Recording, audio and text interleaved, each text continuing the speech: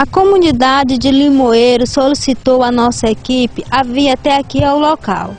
A gente chegando aqui conversando com alguns moradores, o problema deles é que, ah, segundo eles, hoje pela manhã a Coelce veio até aqui, essa rua onde a gente se encontra, rua Zaquiel Pereira, com uma rua projetada. E como você vai acompanhando nas imagens, são casas feitas de taipo, né? De pessoas humildes. E segundo essas pessoas, eles usavam uma energia que as pessoas chamam de gambiarra. Hoje, pela manhã, Coelce veio até aqui ao local e fez o corte dessa energia. A gente vai conversar aqui com a população que se encontra aqui reunida, que moram nessas casas de taipa, né? Que segundo eles não tem condições de pagar uma energia. Mas também eles relatam para a gente que a maior dificuldade é porque não existe portes. Existem esses dois que a gente vai acompanhando nessa rua projetada, rua sem nome, e mais lá na frente existe outras casas e não existe poste. Como é a situação de vocês? Não, não é eu que moro, é minha filha, está grávida, está em dia de parir. Eles vieram tirar a gambiarra dela, não tem condições de botar energia porque não tem poste na rua né? Se tivesse posto, ela conseguia pagar a energia dela, mas não tem posto, não tem como ela ligar a energia dela, por isso que ela botou a gambiarra. Há quanto tempo vocês já moram aqui? Rapaz, eu tô com sete anos que moro aqui. E a filha da senhora, que é que utilizava a energia de forma incorreta, né? Mesmo, mesmo tempo. Então, há cerca de sete anos, ela usava essa energia, como a gente costuma chamar de gambiarra, e nunca teve problema. Hoje a Coelce veio e cortou. Cortou a gambiarra dela. Dela não, de várias pessoas, né? Não foi só dela. Conversar aqui com mais moradores, né? Dá uma palavrinha com a senhora, dona Sônia, que mora aqui e inclusive indignada porque há tempos vocês usavam essa energia e hoje se depararam com essa situação.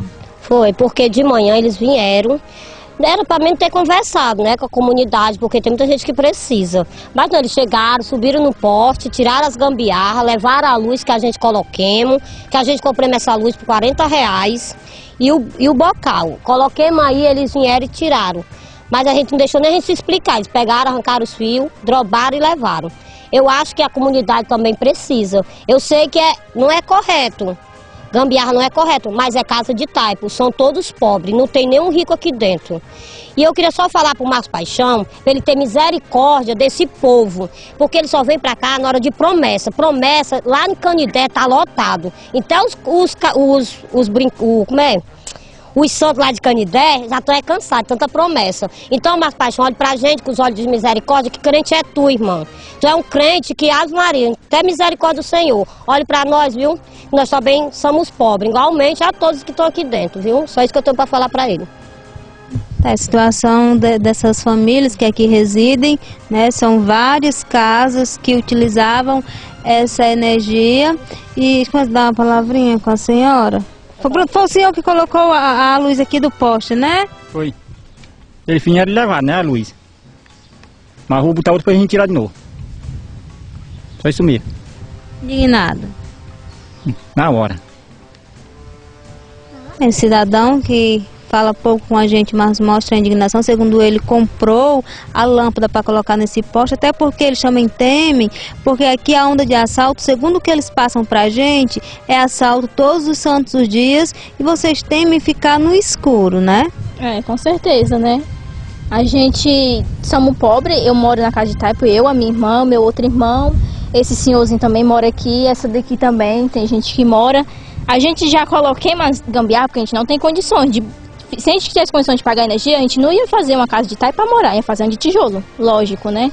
Então a gente botou uma de taipa porque também não tem meio de o poste para colocar energia, porque se tivesse o, o poste a gente já tinha feito o pedido.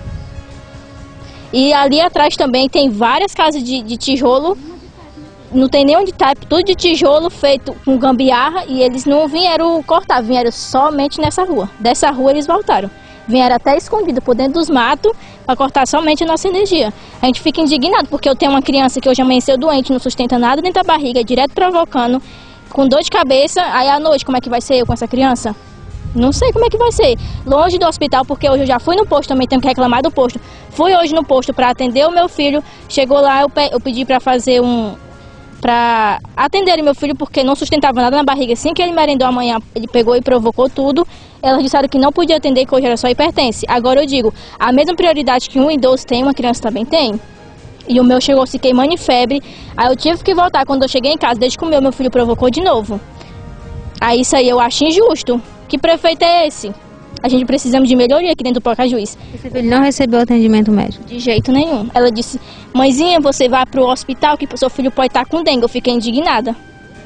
Eu disse, sim, do mesmo jeito que o hospital pode atender, isso aqui é mais próximo, é na Mangabeira. Eu vou me tacar daqui pro hospital de bicicleta, que eu fui pro posto de bicicleta com meu marido. Ela, a gente não pode fazer nada, eu não tenho nenhum carro que me acompanhe até o hospital com meu filho. Não, você tem que ir por conta própria. Ela disse, foi o que ela disseram pra mim, eu fiquei indignada. É difícil, né? Porque se torna longe da, do centro. Com certeza. Aí a gente fica indignada, né? Eu queria só, já que o Marco Paixão convive tanto com o, o prefeito Nezinho de Horizonte, se, que ele seguisse menos um pouquinho do que o prefeito Nezinho é lá no Horizonte, né? Porque o prefeito daqui, meu Deus do céu, só na misericórdia de Jesus, viu? Porque não, tudo que acontece no Horizonte, Marco Paixão tá lá. Nós estamos juntos. Junto em quê? Que aquele não faz nada disso. Ele deve.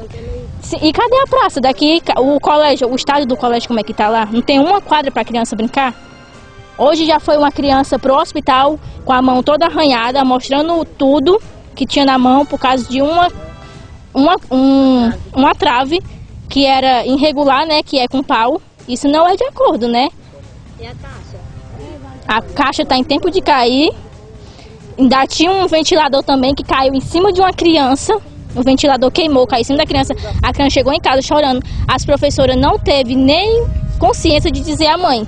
Deixou a criança ir para casa. Quando a criança chegou em casa que mostrou as costas, estava toda queimada as costas da bichinha, do ventilador queimado que caiu em cima da menina. Isso aí não é correto.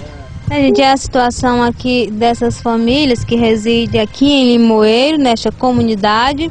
Né? Inclusive, a senhora que conversa com a gente faz alguns desabafos.